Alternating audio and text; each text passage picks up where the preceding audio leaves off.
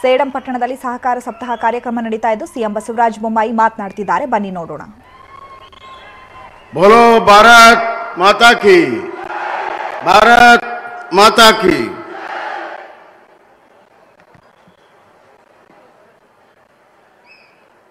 ಎಲ್ಲರಿಗೂ ಆತ್ಮೀಯ ನಮಸ್ಕಾರಗಳು. ಎರಡು ವರ್ಷದ ನಂತರ ವಾರ್ಷಿಕ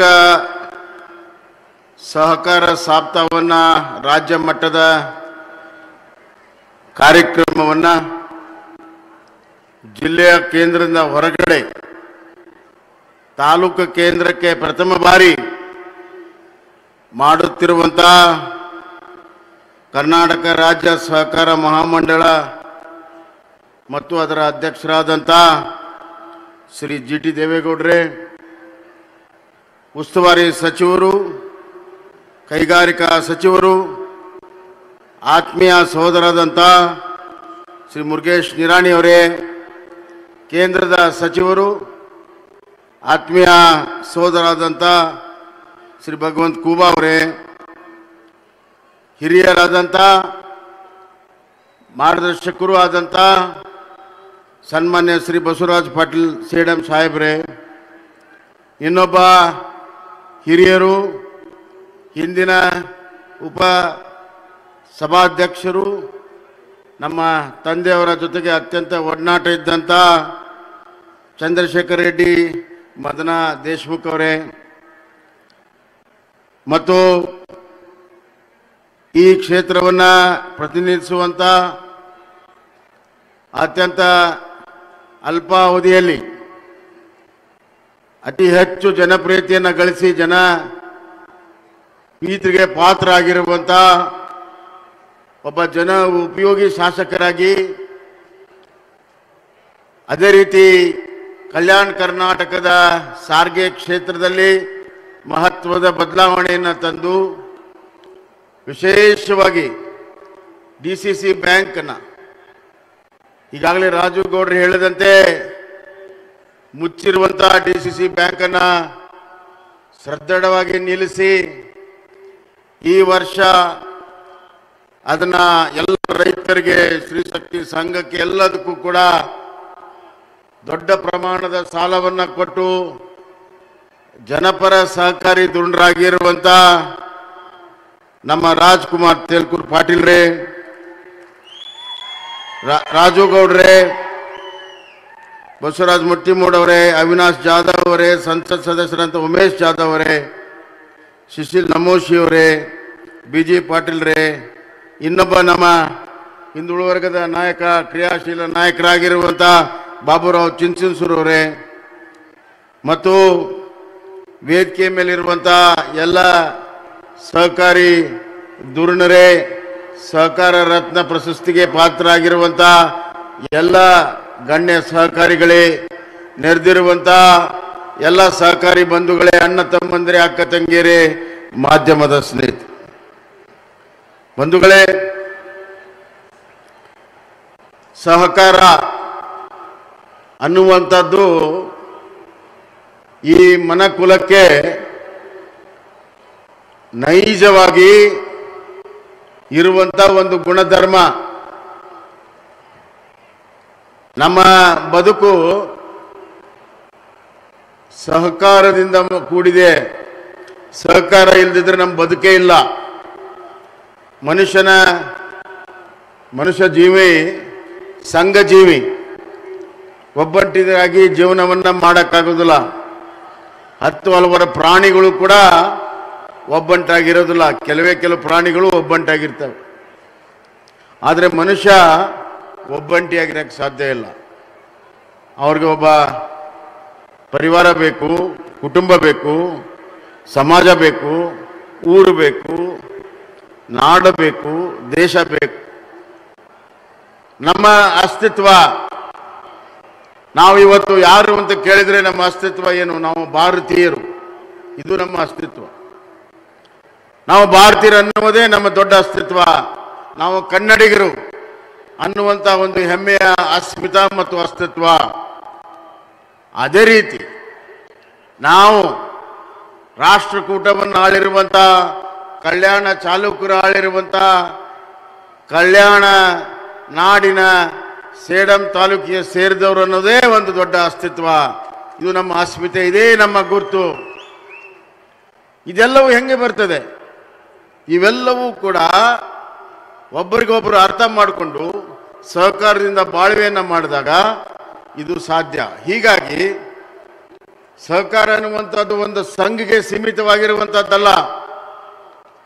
ಸಹಕಾರ ಅನ್ನುವಂಥದ್ದು ಒಂದು ಬ್ಯಾಂಕಿಗೆ ಸೀಮಿತವಾಗಿರುವಂಥದ್ದಲ್ಲ.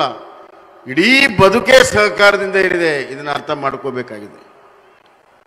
ಸಹಕಾರದಿಂದ ಏನೆಲ್ಲವನ್ನು ಕೂಡ ಸಾಧನೆಯನ್ನು ಮಾಡಬಹುದು. ವೈಯಕ್ತಿಕವಾಗಿ ಸಾಧನೆ ಮಾಡದನ್ನ ಸಹಕಾರದಿಂದ ಸಂಘಟನೆಯಿಂದ ಇವತ್ತು ಸಾಧನೆಯನ್ನು ಮಾಡಬಹುದು.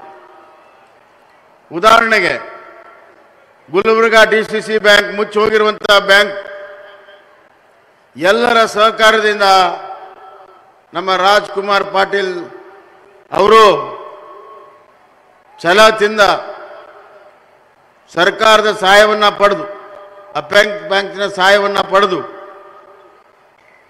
ಆ ಬ್ಯಾಂಕಿಗೆ ಕಾಯಕಲ್ಪವನ್ನು ಕೊಟ್ಟು ಬಹಳ ದಿನಗಳಿಂದ ಇದ್ದಂಥ ಹಣವನ್ನು ರಿಕವರಿ ಮಾಡಿ, ಅದನ್ನು ಹೆಚ್ಚಿನ ಟರ್ನ್ ಓವರ್ನ ಮಾಡಿ ರೈತರಿಗೆ ಸಾಲವನ್ನು ಕೊಟ್ಟು, ಇವತ್ತು ಅದನ್ನು ಸದೃಢವಾಗಿರುವಂಥ ಒಂದು ಬ್ಯಾಂಕ್ ಮಾಡೋದಕ್ಕೆ ಸಹಕಾರಿ ರಂಗವೇ ಕಾರಣ, ಸಹಕಾರವೇ ಕಾರಣ. ಇವತ್ತು ರಾಜ್ಕುಮಾರ್ ಅವರು ನಿಮಗೆ ಆಶ್ಚರ್ಯ ಆಗ್ತದೆ. ಮುಚ್ಚೋಗಿರುವಂಥ ಬ್ಯಾಂಕಿನ ಇವತ್ತಿ ಈ ವರ್ಷದ ಕಾರ್ಯವ್ಯಾಪ್ತಿ ಎಷ್ಟಪ್ಪ ಅಂತಂದ್ರೆ ಎರಡು ಲಕ್ಷ ರೈತರಿಗೆ ಇವತ್ತು ಗುಲ್ಬರ್ಗಾದ ಕಲಬುರಗಿಯ ಜಿಲ್ಲೆಯ ಎರಡು ಲಕ್ಷ ರೈತರಿಗೆ ಸಾಲವನ್ನು ಕೊಟ್ಟಿದ್ದಾರೆ. ಮುಚ್ಚೋಕಿರೋ ಬ್ಯಾಂಕ್. ಎರಡು ವರ್ಷದಿಂದ ಒಬ್ಬರಿಗೂ ಸಾಲ ಕೊಡುವಂಥ ಪರಿಸ್ಥಿತಿ ಇರಲಿಲ್ಲ. ಅದು ಯಾರ ಕೈಯಲ್ಲಿತ್ತು? ಯಾವ ರಾಜ್ಯ ಸರ್ಕಾರ ಇತ್ತು? ಯಾಕೆ ಅವರು ಮಾಡಲಿಲ್ಲ? ಅವ್ರು ಸಹಕಾರ ಮಾಡಿದ್ರೆ ಏನಾಗ್ತಿತ್ತು ಆ ಮನೋಭಾವ ಏನು? ಇದರ ಬಗ್ಗೆ ನಾ ಪ್ರಶ್ನೆಯನ್ನು ಮಾಡೋದಿಲ್ಲ. ನಾ ಪ್ರಶ್ನೆಯನ್ನು ಮಾಡಿದ್ರು ಅದು ನಿಮಗೆ ಬಿಟ್ಟಿರುವಂಥ ಬಹಳ ದೊಡ್ಡ ಆಶ್ವಾಸನೆ ದೊಡ್ಡ ದೊಡ್ಡ ಭಾಷಣ, ದೊಡ್ಡ ದೊಡ್ಡ ಘೋಷಣೆ. ಇಲ್ಲಿ ರೈತರಿಗೆ, ಒಬ್ಬ ಗುಲ್ಬರ್ಗ ರೈತರಿಗೆ ಒಬ್ಬರಿಗೆ ಸಾಲ ಸಿಗಲಿಲ್ಲ, ಸಾಲ ಮನ್ನದ ಲಾಭವೂ ಕೂಡ ಸಿಗಲಿಲ್ಲ. ಆದರೆ ನಮ್ಮ ಸರ್ಕಾರದ ಬೆಂಬಲದಿಂದ ನಮ್ಮ ರಾಜ್ಕುಮಾರ್ ಅವರು ಇವತ್ತು ಎರಡು ಲಕ್ಷ ರೈತರಿಗೆ ಸಾಲವನ್ನ ಕೊಟ್ಟಿದ್ದಾರೆ. ಎರಡು ಲಕ್ಷ ಜನ ಸಾಲ ಎಷ್ಟು ಕೊಟ್ಟಿದ್ದಾರೆ? ಸಾವಿರದ ಹನ್ನೆರಡು ಕೋಟಿ ರೂಪಾಯಿ ಸಾಲವನ್ನ ಇದೇ ವರ್ಷ ಕೊಟ್ಟಿದ್ದಾರೆ. ಇದೊಂದು ರೀತಿಯಲ್ಲಿ ಚಮತ್ಕಾರ ಅಲ್ಲದೆ ಮತ್ತಿನ್ನೇನು? ಒಂದು ಸಾವಿರ ಕೋಟಿ ಟರ್ನ್ ಓವರ್ ಮಾಡಿ, ಸಾವಿರ ಕೋಟಿಯನ್ನು ಜಮಾ ಮಾಡಿ, ಎರಡು ಲಕ್ಷ ಜನ ರೈತರ ಬಾಳೆಯನ್ನ ಅವರ ಬದುಕನ್ನ ಉದ್ಧಾರ ಮಾಡುವಂತ ಕೆಲಸವನ್ನು ಮಾಡಿದ್ದಾರೆ. ಇದಕ್ಕಿಂತ ದೊಡ್ಡ ಕೊಡುಗೆ ರೈತರಿಗೆ ಇನ್ನೊಂದು ಇಲ್ಲ ಅಂತ ನಾನು ಈ ಸಂದರ್ಭದಲ್ಲಿ ನಾನು ಹೇಳಕ್ಕೆ ಇಚ್ಛಪಡ್ತೇನೆ ಇದು ನಮ್ಮ ಸರ್ಕಾರ ಸಹಕಾರಕ್ಕೆ ಕೊಟ್ಟಿರುವಂತಹ ಬೆಂಬಲ. ಇದು ನಮ್ಮ ನೀತಿ. ಇದು ನಮ್ಮ ಸಹಕಾರದ ಒಂದು ನೀತಿ ಬಂಧುಗಳೇ. ಅದೇ ರೀತಿ ಇಡೀ ರಾಜ್ಯದಲ್ಲಿ ಈ ವರ್ಷ ಮೂವತ್ತೆರಡು ಲಕ್ಷ ಜನ ರೈತರಿಗೆ ಇಪ್ಪತ್ನಾಲ್ಕು ಸಾವಿರ ಕೋಟಿ ರೂಪಾಯಿಯ ಸಾಲವನ್ನು ಕೊಡುವಂತ ಗುರಿಯನ್ನು ಇವತ್ತು ನಾವು ಹೊಂದಿದ್ದೇವೆ. ಎಷ್ಟು? ಮೂವತ್ತೆರಡು ಲಕ್ಷ. ಹಿಂದಿನ ಸರ್ಕಾರ ಬಿಟ್ಟು ಹೋದಾಗ ಅವ್ರು ಎಷ್ಟು ಜನಕ್ಕೆ ಸಾಲ ಕೊಟ್ಟಿದ್ರು? ಕೇವಲ ಹದಿನೆಂಟು ಲಕ್ಷ ಜನರಿಗೆ. ನಮ್ಮ ಸರ್ಕಾರ ಬಂದ ಮೇಲೆ ಇದು ಮೂವತ್ತೆರಡು ಲಕ್ಷ ಜನ ರೈತರಿಗೆ ಇಪ್ಪತ್ತು ನಾಲ್ಕು ಸಾವಿರ ಕೋಟಿ ಸಾಲವನ್ನು ಕೊಡುವಂತ ತೀರ್ಮಾನ ಮಾಡಿದ್ದೆ. ಯಾಕೆ? ಇವತ್ತು ಕೃಷಿಯಲ್ಲಿ ಬಂಡವಾಳ ಹೂಡಿಕೆಯನ್ನು ಜಾಸ್ತಿ ಆಗಬೇಕು. ಭೂಮಿ ಅಷ್ಟೇ ಇದೆ. ಅದರ ಅವಲಂಬಿತವಾದ ರೈತರು ಜಾಸ್ತಿ ಆಗಿದ್ದಾರೆ. ಕೃಷಿ ಆದಾಯ ಹೆಚ್ಚಾಗಬೇಕು. ರೈತನ ಆದಾಯ ಹೆಚ್ಚಾಗಬೇಕು. ಬಂಡವಾಳ ಹೂಡಿಕೆ ಇಲ್ಲದೆ ಅದು ಹೆಂಗಾಗ್ತದೆ? ಸ್ಕೇಲ್ ಆಫ್ ಫೈನಾನ್ಸ್ ಅಂತಿದೆ. ಏನು ದೇವೇಗೌಡ್ರೆ, ನೀವು ಸರ್ಕಾರಿ ಭೀಷ್ಮರು, ನಾನು ತಪ್ಪಿದ್ರೆ ಹೇಳಬೇಕು. ಸ್ಕೇಲ್ ಆಫ್ ಫೈನಾನ್ಸ್ ಅಂತಿದೆ. ಒಂದು ಹೆಕ್ಟೇರ್ ಜೋಳ ಬೆಳೆದ್ರೆ ಕಲಬುರಗಿಯಲ್ಲಿ ಇಪ್ಪತ್ತು, ಇಪ್ಪತ್ನಾಲ್ಕು ಸಾವಿರ ಕೊಡಬೇಕು ಅಂತಿದೆ. ಉದಾಹರಣೆ, ಇವ್ರು ಕೊಡ್ತಾ ಇರೋದು ಐದು ಸಾವಿರ, ಆರು ಸಾವಿರ. ರೈತ ಹೆಂಗೆ ಬದುಕಬೇಕು, ಬಾಳ್ಬೇಕು. ಇದು ಬದಲಾವಣೆ ಆಗಬೇಕು. ನೀವೇ ನಿರ್ಮಾಣ ಮಾಡಿರುವಂತಹ ಸ್ಕೇಲ್ ಆಫ್ ಫೈನಾನ್ಸ್ ಪ್ರಕಾರ, ನೀವೇ ತೀರ್ಮಾನ ಮಾಡಿರುವಂತಹ ಸ್ಕೇಲ್ ಆಫ್ ಫೈನಾನ್ಸ್ ಪ್ರಕಾರ, ನೀವು ಸಾಲವನ್ನು ಕೊಡೋದಕ್ಕೆ ಪ್ರಾರಂಭ ಮಾಡಿ, ರೈತನ ಬದುಕು ಇನ್ನೊಬ್ಬ ಯಾವುದೇ ಮೀಟರ್ ಬಡ್ಡಿಯ ಮನೆ ಬಾಗಿಲಿಗೆ ಹೋಗೋದು ತಪ್ತದೆ. ಅವನ ಹೆಂಡತಿ ಮಕ್ಕಳ ಆಭರಣವನ್ನು ಗಿರಿವಿ ಇಡೋದು ತಪ್ತದೆ. ಇನ್ನೊಬ್ಬರ ಮುಂದೆ ಕೈ ಚಾಚೋ ತಪ್ತದೆ. ಅವನು ಸ್ವಾವಲಂಬನೆ ಆಗ್ತಾನೆ, ಅವನ ಸ್ವಾಭಿಮಾನ ಉಳಿತದೆ. ಯಾವಾಗ ಅವನ ಕೈ ಒಡ್ತಾನೆ, ಅವತ್ತು ಅವನ ಸ್ವಾಭಿಮಾನ ಇರೋದಿಲ್ಲ ಎಲ್ಲಿ ಸ್ವಾಭಿಮಾನ ಇಲ್ಲ, ಅಲ್ಲಿ ಆತ್ಮವಿಶ್ವಾಸ ಇಲ್ಲ. ಎಲ್ಲಿ ಸ್ವಾಭಿಮಾನ ಇಲ್ಲ, ಅಲ್ಲಿ ಆತ್ಮವಿಶ್ವಾಸ ಇಲ್ಲ. ಎಲ್ಲಿ ಆತ್ಮವಿಶ್ವಾಸ ಇಲ್ಲ, ಅಲ್ಲಿ ಸಾಧನೆ ಇಲ್ಲ. ಹೀಗಾಗಿ ಸ್ವಾಭಿಮಾನ ಬದುಕನ್ನು ಬದುಕಬೇಕಾದ್ರೆ ಸ್ವಾವಲಂಬನೆ ಆಗಬೇಕು. ಅದಕ್ಕೆ ಅತಿ ಹೆಚ್ಚು ಬಂಡವಾಳ ಹೂಡಿಕೆಯನ್ನು ನಾವು ಈ ವರ್ಷದಿಂದ ಪ್ರಾರಂಭ ಮಾಡಿದೆ ಬಂದು. ಅದರ ಜೊತೆಗೆ ಇವತ್ತು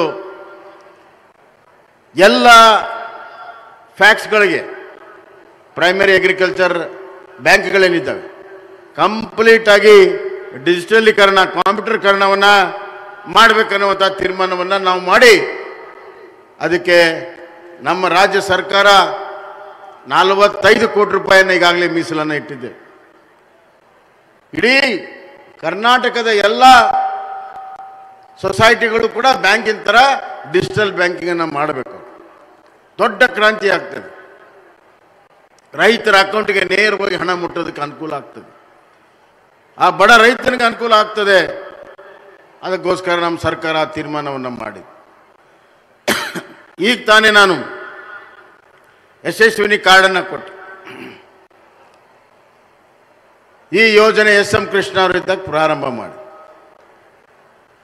ಸಹಕಾರಿ ರಂಗದಲ್ಲಿ ರೈತರಿಗೆ ಆರೋಗ್ಯದ ಸಮಸ್ಯೆ ಬಂದಾಗ ಅವ್ರಿಗೊಂದು ಆರೋಗ್ಯ ಕವಚವನ್ನು ಕೊಡಬೇಕು ಅಂತ ಹೇಳಿ ಪ್ರಾರಂಭ ಮಾಡಿದ್ವಿ ಅದು ಒಂದು ಒಳ್ಳೆಯ ರೀತಿಯಲ್ಲಿ ಆಡಳಿತ ಮಾಡ್ತಾ ಮಾಡ್ತಾ ಮಾಡ್ತಾ ಭಾಳ ಸದೃಢವಾಗಿ ಬೆಳೀತು. ರೈತರು ಹುಷಾರಿಲ್ದಾಗ ಅಲ್ಲಿ ಇಲ್ಲಿ ಅಳೆದಾಡೋ ಬದಲು ಈ ಯಶಸ್ವಿನಿಯ ಕಾರ್ಯಕ್ರಮ ಮುಖಾಂತರ ಅವರು ಆಸ್ಪತ್ರೆಗೆ ಹೋದರೆ ಕೂಡಲೇ ಚಿಕಿತ್ಸೆ ಸಿಗಬೇಕು. ಆ ಒಂದು ವ್ಯವಸ್ಥೆ ಅದರಲ್ಲಿದೆ. ಇದನ್ನು ನಾವು ಕೇಂದ್ರ ಸರ್ಕಾರದ ಹತ್ತು ಹಲವಾರು ಯೋಜನೆಗಳಿದೆ. ಕರ್ನಾಟಕ ಆರೋಗ್ಯ ಕವಚ ಅನ್ನೋದು ಕೂಡ ಇದೆ. ಅದನ್ನು ಇಟ್ಕೊಂಡ್ರು. ಆಯುಷ್ಮಾನ್ ಭಾರತ ಕೇಂದ್ರ ಸರ್ಕಾರದ ಯೋಜನೆ, ಕರ್ನಾಟಕದ ಆರೋಗ್ಯ ಕವಚ ಯೋಜನೆ, ಇವೆರಡನ್ನು ಕೂಡ ಇಟ್ಕೊಂಡು ಇವತ್ತು ಮರ್ಜ್ ಮಾಡಿ ಹೋಗ್ತಾ ಇದ್ದಾರೆ. ಆದರೆ ಯಶಸ್ವಿನಿ ಇವತ್ತು ಅವರು ಮಟ್ಟಕ್ಕೊಳಿಸಿ ಬಹಳ ವರ್ಷದ ಡಿಮಾಂಡ್ ಇದೆ. ನಾಲ್ಕೈದು ವರ್ಷದಿಂದ ರೈತರು ಕೇಳ್ತಾ ಇದ್ರು. ಏನ್ ಕೊಡ್ರೆ ಆ? ಅದೇ ಎಲ್ಲ ಕಡೆ ಕೇಳ್ತಾ ಇದ್ರು, ಯಶಸ್ವಿನಿ ತೊಗೊಂಡು ಬನ್ನಿ ಸ್ವಾಮಿ. ನಮ್ಗೆ ಅಲ್ದಾಡ ತಪ್ಪಿಸಿ, ಯಶಸ್ವಿನಿ ತೊಗೊಂಡು ಬನ್ನಿ. ನಾನು ಸಹಕಾರಿ ಖಾತೆಯನ್ನು ಸ್ವಲ್ಪ ದಿವಸ ನಡೆಸಿದ್ದೆ. ಇವ್ರ ಸವಾಸ ಎಲ್ಲ ಮಾಡಿದ್ದೆ ನಾನು. ಸಹಕಾರಿ ಸವಾಸ ಅಷ್ಟು ಸುಲಭ ಇಲ್ಲ. ಏನು ಕೊಡ್ರೆ ನೀವೆಲ್ಲರನ್ನೂ ಮೀರಿಸಿದವ್ರು ನೀವೆಲ್ಲ. ಯಾವಾಗ ಯಾರ ಜೊತೆ ಹೊಂದಾಣಿಕೆ ಆಗತ್ತೆ ಗೊತ್ತಿಲ್ಲ. ಈಗ ರಾಜಕೀಯ ಪಕ್ಷಗಳು ಸಹಕಾರಿ ಸಂಘದ ರಾಜಕಾರಣವನ್ನು ನೋಡಿ ಕಲಿಯುವಂಥ ಪರಿಸ್ಥಿತಿ ಬಂದಿದೆ. ಯಾವಾಗ ಯಾವಾಗ ಯಾರ ಜೊತೆಗೆ ಸೇರ್ತಾರೋ ಏನೋ, ರಾತ್ರಿ ಒಬ್ಬರು ಕುಟ್ಟಾಗ ಬೆಳಗ್ಗೆ ಒಬ್ಬರು ಕುಟ್ಟಾಗ ಒಳಗಡೆ ಹೋಟ್ ಆದಾಗ ಇನ್ನೊಬ್ಬರ ಜೊತೆ ಇರಲಿ.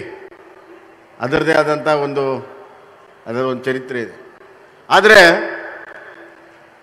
ನಾನು ಸಹಕಾರಿ ಸಚಿವನಾಗಿ ತುಮಕೂರಲ್ಲಿ, ಇದೇ ಸಹಕಾರಿ ಸಪ್ತಾಹದಲ್ಲಿ ಹೋದಾಗ ರೈತರು, ಯಶಸ್ವಿನಿ ಒಂದು ಮಾಡ್ರಿ, ನಮ್ಗೆ ಏನು ಬೇಕಾಗಿಲ್ಲ ಅಂತ ಕೂಗಾಕಿದ್ರು ಅವತ್ತೇ ನಾವು ತೀರ್ಮಾನವನ್ನು ಮಾಡಿದ್ವಿ. ಈ ವರ್ಷ ಬಜೆಟ್ನಲ್ಲಿ ಅದಕ್ಕೆ ಮುನ್ನೂರು ಕೋಟಿ ರೂಪಾಯಿನ ಇಟ್ಟು ಯಶಸ್ವಿಯನ್ನ ನಾವು ಪ್ರಾರಂಭ ಮಾಡಿದ್ವಿ.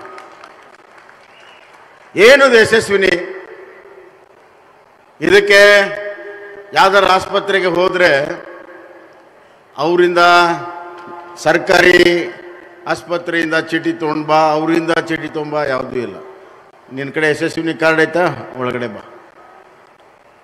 ಅಲ್ದಾಟ ಇಲ್ಲ ನಂಬರ್ ಒನ್ ನಂಬರ್ ಟು ಒಂದು ಕಾರ್ಡ್ಗೆ ಕುಟುಂಬದ ಎಲ್ಲ ಸದಸ್ಯರಿಗೂ ಅನುಕೂಲ ಆಗ್ತದೆ.